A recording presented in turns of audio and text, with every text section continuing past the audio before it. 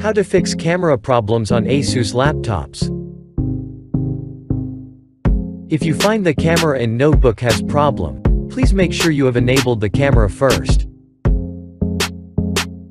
For parts of notebook models, the camera function key is F10 key. Please press the function key and F10 key to check if the camera can be turned on. Please refer to the following steps to solve camera problems. First, you can turn on app permissions for your camera in Windows 10. Click on Start button, then select Settings. Select Privacy.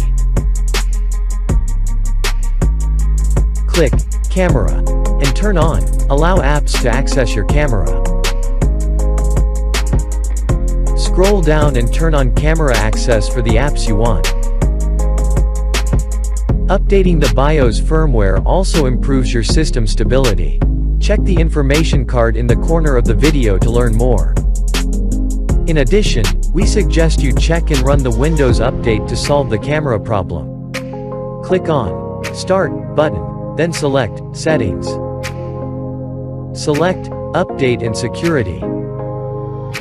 Click Check for updates, and system is checking any available update. Please follow the instructions to finish the process. Then you can choose to restart computer right now.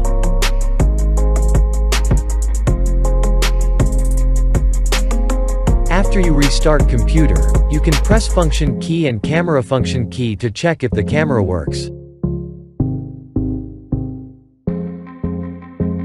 If you cannot fix the camera problem after trying the above steps, you can also reset the camera. Click on Start button, then select Settings. Select Apps. Click Camera and enter Advanced Options.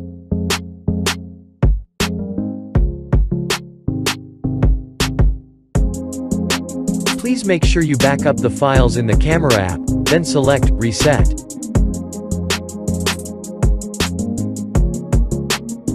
After you reset, check if the camera works.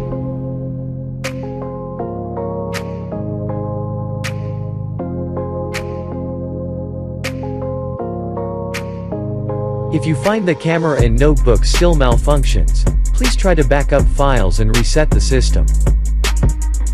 If you find the camera is still not working at all, please contact your local ASUS customer service center for technical support. Thanks for watching and welcome to subscribe to our ASUS support channel. We are happy to provide you with more useful information.